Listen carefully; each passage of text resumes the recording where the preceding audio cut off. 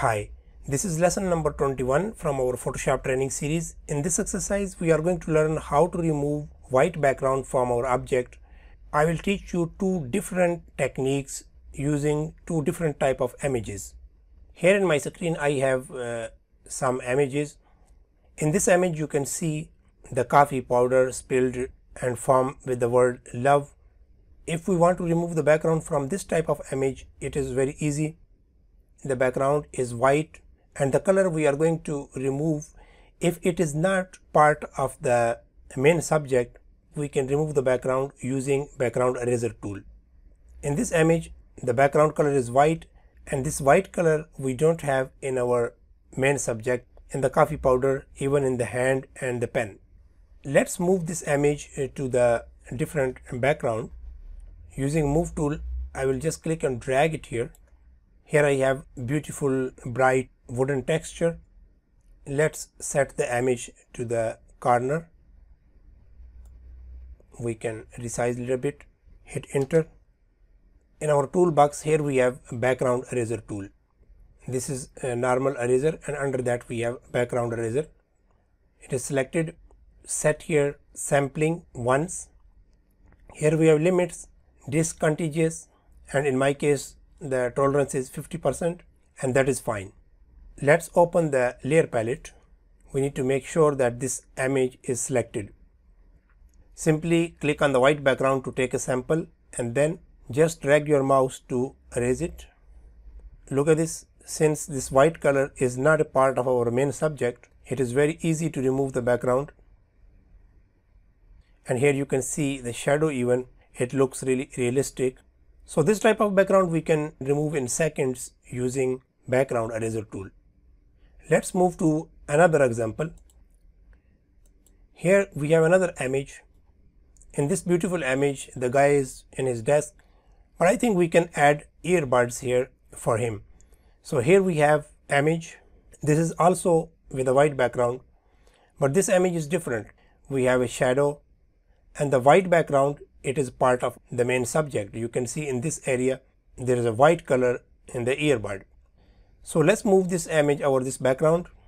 It is not really necessary to move the entire image. We can use rectangular marquee tool and we can set the area that we want to move.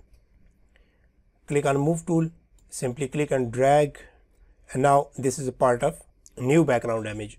So here we can set the size just locate it first and reduce the size. I think that is fine.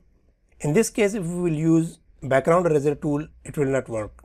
Let's try background eraser tool, layer is selected and I will take a sample from the white background and try to remove. Clearly you can see headset in this area it's become transparent. We lost the pixels detail here. It is because background eraser tool is detecting the white color from the background since it is a part of the main subject. So, it is gone control Z to go back. Here we will use different technique to remove the background. The first thing we need to extract the earbud from the background. We need to maintain the shadow also. Let's select the earbud. We can use quick selection tool, but this time I am going to let Photoshop select for us. So, I will click on select menu and click subject. In my case control plus 1 is the shortcut for this. To make it fast your workflow you can also set the keyboard shortcut. You can go to the edit keyboard shortcuts and here if you will click you can see we have different options. So the first one is selected. Under this here we have select. Click on this small arrowhead and scroll down. Here you can see subject. Once you will click, you can assign the keyboard shortcut with a combination of control and whatever is available you can set it. And once you will click OK, that will be the shortcut for this command. So click on select, subject and here we have selection.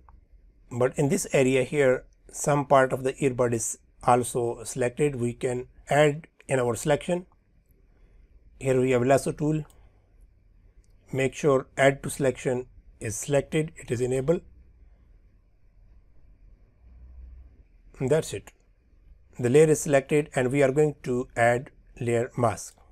Once we added layer mask, we don't have background. It is okay, but it doesn't look realistic. There is no shadow and the earbuds hang up in the ear. So the first thing we need to bring back the shadow. To do that, we are going to duplicate this layer. Since the layer is selected, click on drag to this plus here. We have another copy. The layer 1 copy we will use for earbud. For now, we can switch off. And in this layer, we have mask. The black area present the hidden part and the white is the revealed area which is earbud. We need to invert the mask. To invert the mask, press Ctrl I. The background will be visible and the earbud will be hidden. So select the mask, press Ctrl I. So the mask is inverted. The background come back with the shadow. So here is the magic. We need to change the blend mode. So click here and choose blend mode multiply or linear burn. If I will click on linear burn, you can see little bit around here. Let's choose the multiply. Still we have little bit background. It is because of I believe that in this image there is some light gray tone in the white background. So here we have very light gray shade. To fix this it is very easy. We need to add the adjustment layer. Layer 1 is selected. Click on create new fill or adjustment layer. In our previous lesson we learned how to use this feature but here I am going to add something else. We are going to learn something new. Click on levels. So here we have level adjustment. Go back to the layer and the levels is applied. Now this adjustment layer since it is top of the layer 1 and background it will affect both of them. If I will double click here to access the level, here we have the settings. If I will move the slider back, you can see with this earbud, our background is also affected because the level adjustment layer is on top of the layer 1 and the background. So, how to control or how to limit the level to only the earbud? It is very easy. All what we have to do, we need to click on this button it will show that this adjustment affect all the layers below. Now it is disabled. So any adjustment we will make here, it will affect all layers below the level. But if I will click here and this time if I will move the slider back, you can see clearly that the earbud background is affected and the gray shade, the light gray shade from the background is gone. Let's go back to the layer palette and observe the level. Here we have small arrow, okay, headed down and it is indicating that layer 1 is clipped with the level, meaning to say the level adjustment setting, it is limited to only this layer. It will not affect anymore the background. Now let's open the earbud. Here we have layer 1 copy and that's all. Now you can see the shadow, it look realistic and we have still the bright part. We have detail here in our earbud. If you want to make it a little bit more smooth and soft the shadow you can see here under the hand that's really smooth. We can adjust by opacity. Click on layer 1 and here we have opacity control.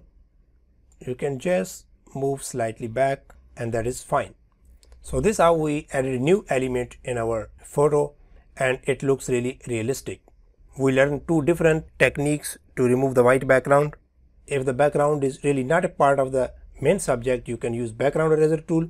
And if the background exists in the object you want to extract, in that case, you can use this technique to remove the background. That's all for now. I hope you enjoy this lesson. You can use similar images to practice.